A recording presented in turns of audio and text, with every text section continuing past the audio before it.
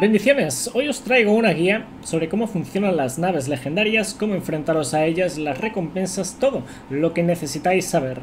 Para empezar, ah, no podéis abordarlas, probablemente es una de vuestras primeras preguntas, ¿se pueden abordar? ¿Puedo robarlas? No, lamentablemente no. No sé si aquí de hecho vais a ver el ejemplo Creo que aquí de hecho le rompo los motores, como podéis ver, y no me permite abordarla.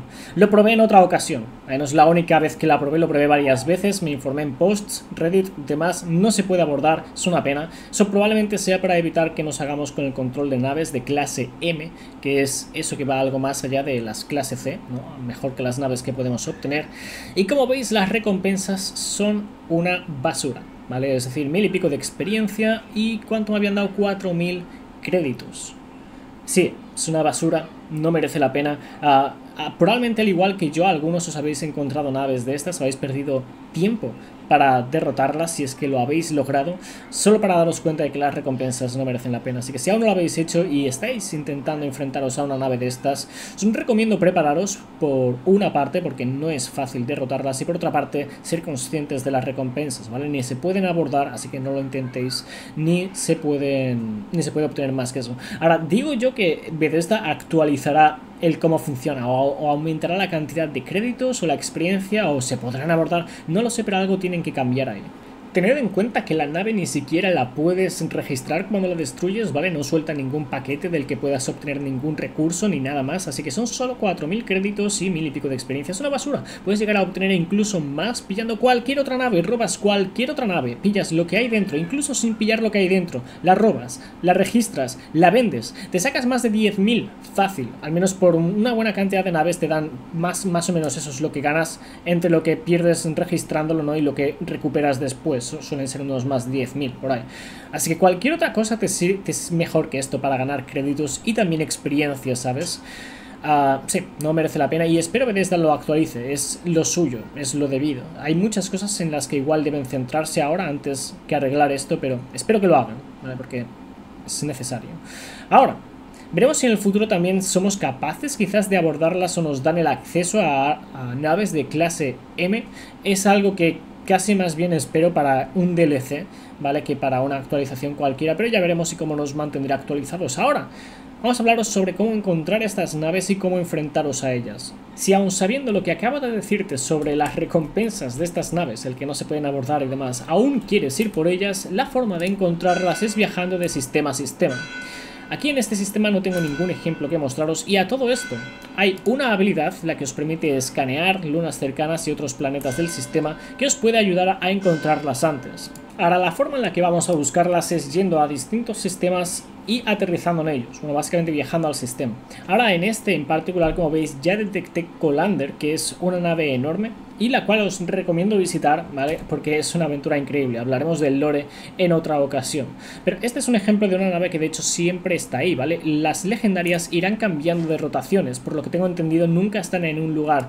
Eh, igual, ¿vale? Nunca están en el mismo lugar, así que podéis encontraroslas en otras partes. Voy a hacer el ejemplo con este sistema en particular.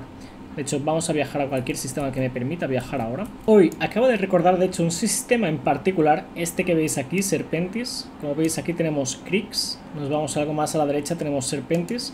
Pues aquí en particular encontraréis muchas naves, muchas peleas de naves, casi, bueno, una buena cantidad de las veces que lleguéis a ese sistema, que lleguéis de un salto gravitacional, os encontraréis peleas de naves. En caso de que busquéis naves para pelear, abordar cualquier cosa, no sé por qué en este sistema en particular sueles encontrarte muchas de ellas con diferencia. Ahora, de hecho, vamos a mirar si me encuentro cualquiera. Y en cualquier caso, una vez lleguéis a cualquier sistema, lo que os recomiendo es abrir el menú, ¿vale? El mapa y echarle un vistazo atrás. oh, mira, de hecho, acaba de hacerlo. A ver si aparece algo como esto. No sé si habéis visto el mapa antes, pero antes básicamente no podía ver este icono de aquí, que muestra actividad hostil, el símbolo de una nave, actividad hostil, así que vamos para allá. Eso solo lo podéis ver cuando llegáis a un sistema, al menos quizás que lo hayáis visitado antes y ya hayáis detectado esa actividad hostil, esa nave, ¿no? Ahora, eso, mirad, uh, Creo que me habían aparecido naves enemigas detrás, como os digo, no sé por qué en Serpentis aparecen pila de naves. y como os decía, además de encontrarlas así de sistema a sistema, creo esta ventaja de escaneo puede darte más información sobre las naves del espacio. Como veis aquí, literalmente te dice eso, ¿no? Obtienes más información sobre las naves y creo que puede llegarte a servir para encontrar estas naves antes. No creo que sea necesario y mucho menos útil, ¿no? Porque, como os digo, terminas... Uh, o sea, las recompensas no terminan mereciendo la pena. Pero, como veis, de este modo podéis encontrar las naves que os comentaba, ¿vale? Podéis ir encontrar las naves más fácilmente, ya sean las normales para abordarlas, para subir la ventaja de pilotaje, derrotar ¿no? Uh, sino también para encontrar esas otras naves legendarias, que como os digo, es con suerte que te las vas a encontrar, ¿vale? No siempre van a aparecer ahí. Mi nave legendaria, en caso de que queráis probar la misma localización, se encontraba, en Jaffa.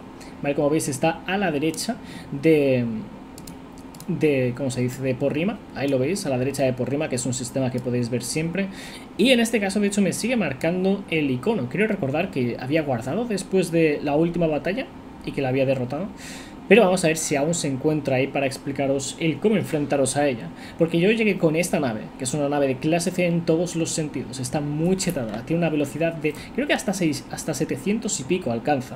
Una maniobrabilidad impresionante.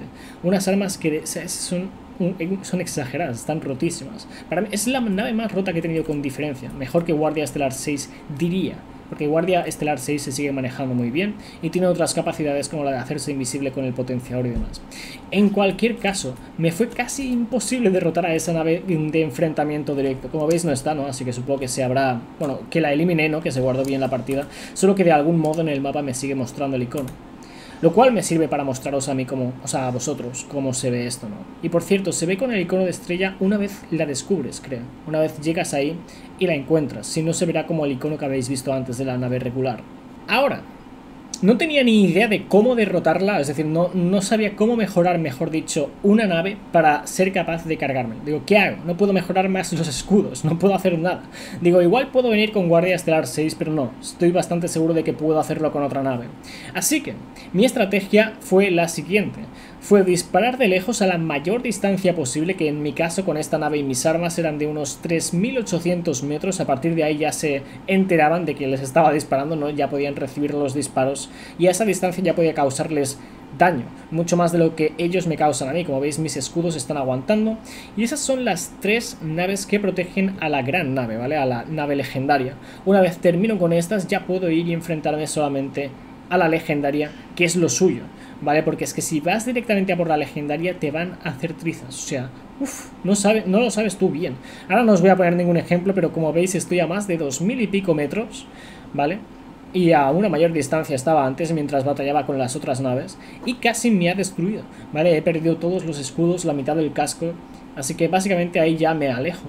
Y como os digo, a 3800 metros no os puede dañar. Y como no se mueve la otra nave, la grande, al menos en el caso de esta legendaria, pues es mucho más fácil enfrentarse a ella, ¿vale? Terminas con los pequeños, le disparas de lejos y desde aquí la puedo destrozar fácil, de hecho me podría haber alejado más, pero quería volver a probar lo de abordar, ¿vale? Probé lo, de abordar como os digo dos o tres veces, así que ni, lo intentéis, a menos que lo actualicen y en ese caso ya os actualizaré, no se puede, ¿vale? Esperemos que mejoren en el futuro, como os digo, las recompensas, lo de abordar y demás, pero por ahora es lo que hay. Y a todo esto, también me he llegado a enfrentar a otra nave legendaria. Uy, de hecho, este es un ejemplo en el que me morí. Sí, me acerqué demasiado para intentar abordar en esa ocasión. No sabéis cuántas veces me enfrenté a esta nave. Sí, la destruí tres o cuatro veces y algunas de ellas fue sin querer, ¿vale? Porque quería intentar abordarla, así que después lo repetí. Lo hice no sé cuántas veces. Así que puedo a, confirmaros que este venía a ser el mejor método de destruirla. Pero como os iba diciendo, me llegué a enfrentar a otra, a otra que no fui capaz de destruir porque era bastante al inicio del juego, mi nave no era capaz ni de lejos de destruirla, y que creo recordar o tenía más naves defendiéndolas o por lo general era de mayor nivel, era más difícil destruirla. Así que estoy seguro de que habrá naves legendarias más complicadas, más difíciles y quizás con mayores recompensas, pero dudo que mucho más gratificantes, ¿vale? Porque que te den 4.000 créditos y 1.000 de experiencia por esta nave, por ejemplo, no lo veo nada recompensante y dudo que otras naves, pese a que puedan ser más chungas con un poco mejor de recompensas, puedan llegar a marcar una mayor diferencia. Pero os mantendré actualizados en cuanto destruya cualquier otra nave, me dé cuenta de si las recompensas merecen más o menos la pena, si puede cambiar cualquier cosa, por ahora eso es lo que sé, y también os actualizaré si deciden actualizar esto, cambiarlo. Que creo yo lo harán, eventualmente, aunque igual es algo que hagan más tarde. Dicho eso, decidme vosotros vuestra experiencia con naves legendarias abajo en los comentarios, seguro que os habéis encontrado más de una, y compartid las localizaciones donde las encontráis. Como os digo, es algo random, pero es posible que puedan llegar a coincidir para algunos, así que es algo que tampoco uh, pasaría por alto. Dicho eso, nos despedimos, decidme qué os ha parecido el vídeo, espero que os haya servido de ayuda.